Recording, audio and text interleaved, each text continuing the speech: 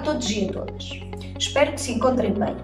No seguimento do programa Estamos On, propostas virtuais, benefícios reais do município de Alfândega da Fé, lançamos mais uma sessão de atividade física.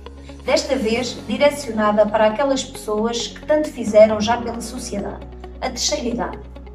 Como esta população, na sua maioria, não tem acesso à internet, apelamos a quem está mais próximo delas que as oriente para realizarem estes exercícios simples para que assim se possam manter ativos. Vamos lá?